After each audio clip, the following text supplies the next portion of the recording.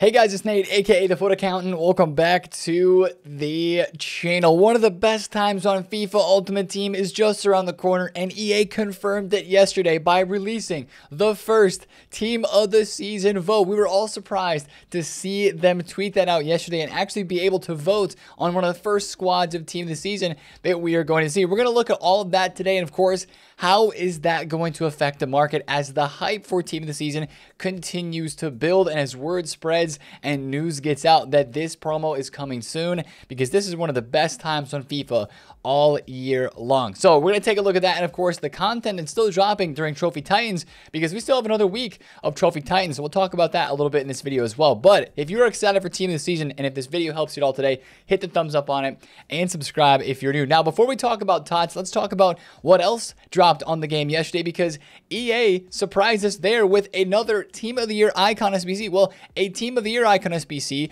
uh, for a player that has been in packs. Not really another one, I guess. We've had Hugo Sanchez Sanchez, we've had Xabi Alonso, but Pires, five star skills, four star weak foot, coming in at around 600,000 coins this SBC. His card was around 700k on the market before the leak of this SBC coming out. If you don't want to do this SBC right away as a player that you need in your squad or you really, really want, this is going to be a great SBC to craft during team of the season because it's only four squads plus the silver and bronze and that's really, really easy to get done. 80, 88, 87, 86, and 84 rated squads.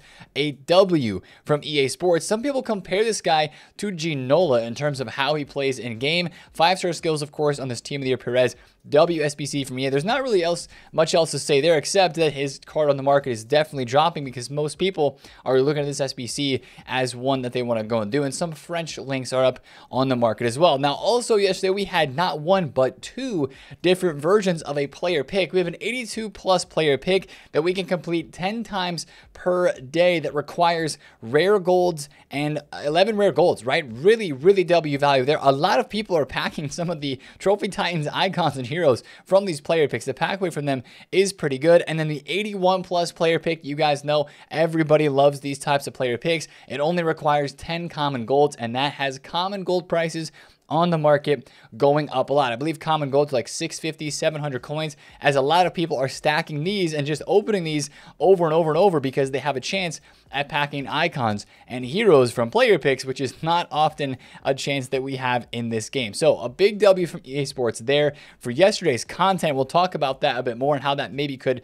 impact the market throughout the rest of this week. But the big news is with team of the season, guys. It is TOTS time. TOTS season is upon us, but there's a lot we can look at right now with this and learn. Now, first of all, the community team of the season vote is the one that is live right now. And if you go into the fine print here, you see this voting started yesterday on April 10th it is going to be ending on April 13th. And there's a whole schedule that's on another webpage on EA's website, which I'll show you guys in a second. This is a very short vote compared to some team of the season votes that we've had in the past couple of years. But this is really resembling the way they did the voting last year in FIFA 22. So uh, this is kind of the vote that we have. You only have a couple days to do it. So make sure you go ahead and do that and you submit your vote and all that. I think you can only vote one time. But some people are looking at these players and like, Nate, there are some really not that high players in this voting uh, and like why would we want to vote on these cards you know? Like what's the whole point of community tots? It's the worst week of tots.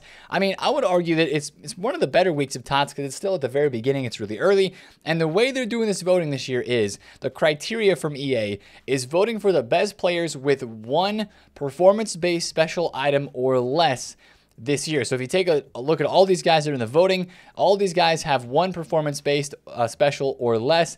And uh, I mean, let's be honest, guys. We looked at the team of last year most consistent or community team this season from FIFA 22, it's probably going to be a pretty Premier League um, based team the season, right? That's based off the voting. There's a lot of the players that do end up getting in. Last year we had Laporte, Fred, Zaha. Um, you might remember the Serge Gnabry, the Caqueret card that was absolutely insane for the price that he was in game. We had Coady, Livramento, and Mitchell as well. This Mitchell card like exploded in price. I'm sure a lot of you guys remember him. So as we're taking a look at this team, yes, you could have guys in here like Anderson Christian Talisca, who could potentially make it in. Maybe Kim Min Jae could make it in. The attackers, I feel like Gabriel Jesus and Rodrygo, being from Arsenal and Real Madrid, are definitely locks to get into this community team of the season squad. So the voting is out now. So go ahead and cast your vote. And um, it does matter, right? There's a lot of different choices in here. I had a Haji Wright in my vote being from the USA. Love Haji Wright. But, you know, it's just fun, right? It's fun to vote on this stuff. It's fun to kind of tweet it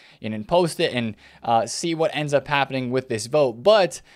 uh, a lot of people do say that they, they think these players are like L's, but I will tell you guys again, like, look at this squad from last year, right? I mean, look at the Zaha, the boost that they gave him from his winter wildcards, right? Plus five pace, six shooting, six passing. These are the types of upgrades we expect with Team of the Season.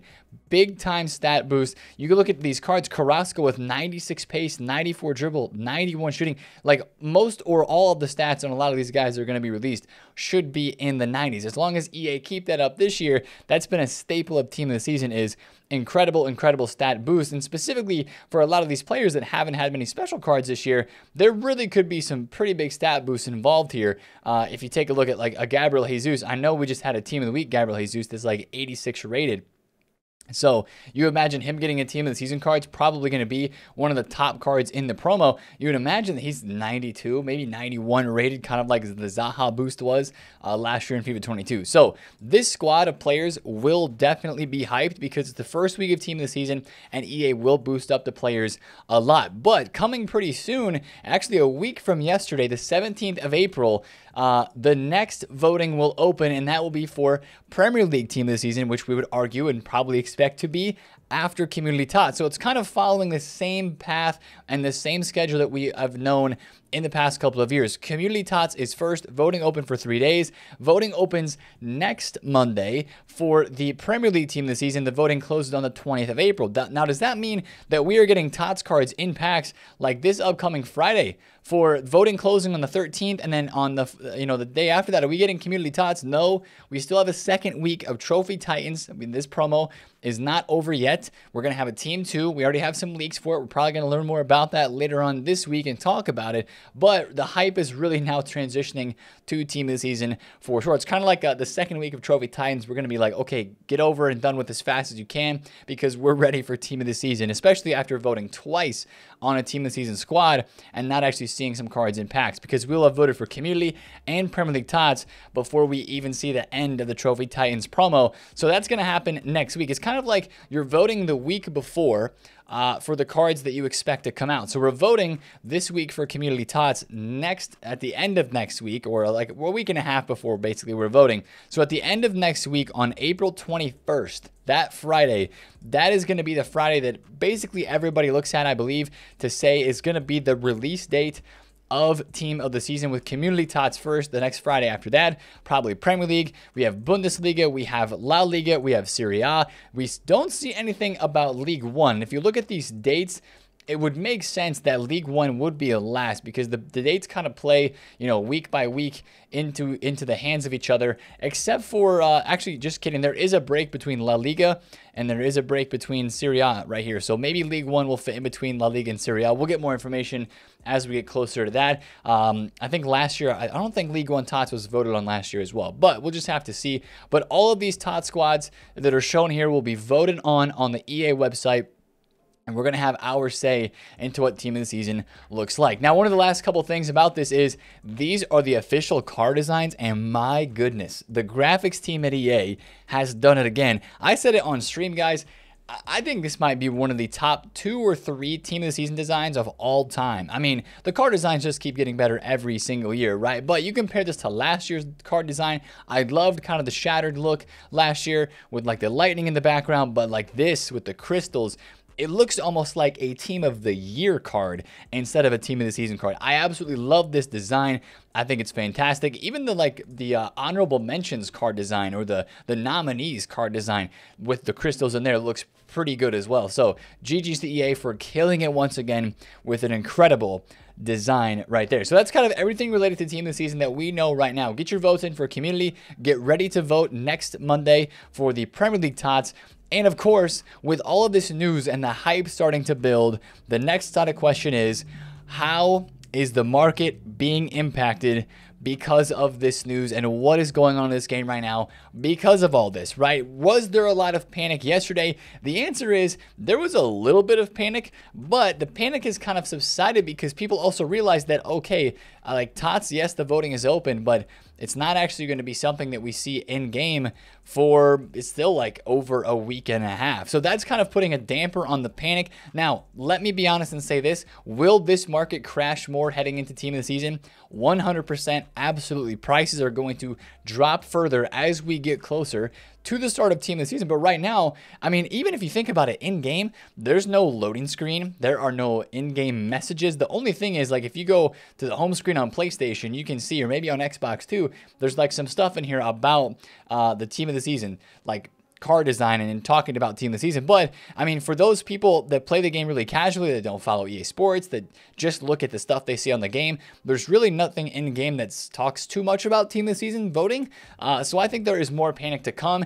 And if you have cards in your team that you don't want to hold on to, this is probably a decent time to get them out still while prices are okay. I know prices are down from where they have been, but prices are still, in the grand scheme of things, higher now than I believe they will be next week at this time. Next week, towards the middle of the week, where we are on the doorstep of team of the season, I still think there are opportunities for the market to drop a good amount more in the coming week. So just be careful again with cards that you maybe have.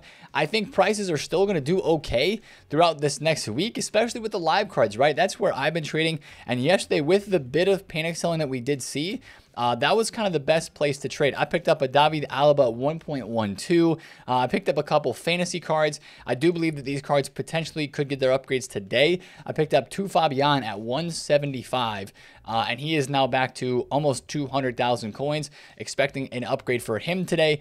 Jota was down. Ruben Dias was down from those fantasy cards. Some of the fantasy FUT heroes dropped in price as well. So I really have been trading with some of those live cards and of course the trophy titans. But some of you guys may be asking about this as, as well because yesterday we were really really bullish on investing in some of these trophy titans which i did and it actually paid off big time. Um, now i ended up selling all of the stuff that i invested in yesterday. I did make a quick flip out of it uh, especially with the voting for team of the season being out and that kind of conversation starting to happen. Uh, i do believe that prices on these cards will probably just stay the same. Some of them will still maybe move upwards a little bit as we head throughout this week but but like Bergkamp, who is besides two undercuts right now, about 540K, he was, of course, up a lot yesterday morning. A lot of these cards rose, and they were great. Uh, they were great cards to trade with Essien, right? We bought a couple of those we mentioned yesterday's video. He went from 345,000 coins up to 370. You can see yesterday's content with Team of the Season and the Icon SBC and the player picks did drop some things a little bit, but some stuff is, I mean, none of these cards really are like down horrendous, let's be honest, except Zidane. Zidane is down a decent amount, um, but like Casillas is still the same price. Lahm is still around the same price. Bergkamp is up. Lahm is up. Rio is up. Carlos, same price. Del Piero, same price. So it's not like if you bought some of these yesterday, uh, you lost a bunch of coins. And then even throughout the rest of the market, FUT birthday cards, it's not like they just absolutely uh, just got destroyed in price. I mean, Hummels is up in price after we got the plus two to Thomas Meunier. Hummels went up. He had a kind of a dip as people were selling after the after the Tots vote, and now he's continuing to go up even further as people buy him to link into their teams. So the market is still doing okay. It's not doing like amazing, right? Because we have this news now team the season coming, but it's still doing okay. I do believe that there will be some cards that will continue to fall off throughout this week, just as people say, okay, more people learn about team the season is coming, more people learn about the potential for the market to crash, as it always does every year with team the season. So, like, look at Mbappe, right? Mbappe was 480, went up to about 506, back down to 480, and right now he's right around 500K. So, I do believe the market will drop over the coming days but I don't think it's going to be like a crazy like market just tanks like in one day or two days like we saw before the FUT birthday promo where everybody was super scared and super uh, excited about FUT birthday. It's just going to be kind of different because we're not going to see as much of like the crazy panic selling happening at one time. I think it's going to be gradual over the next couple of days. And if EA continues to release icon SBCs like this period, there's another leak for another icon coming out uh, I mean, that could also impact the market as people are doing a lot of these player picks right now. I mean, you go take a look at gold commons.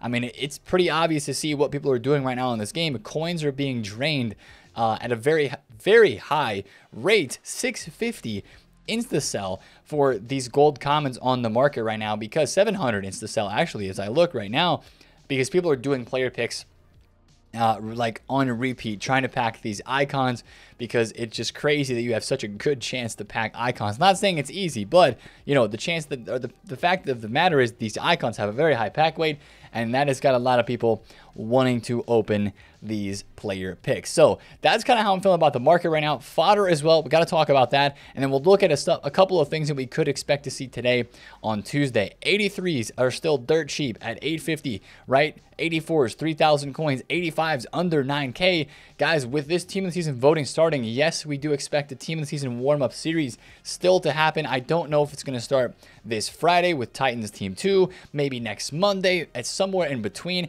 I still believe that's going to be a great investment opportunity for the low tier fodder, so just be on the watch out for that. But your middle to high tier fodder is still kind of doing the same thing.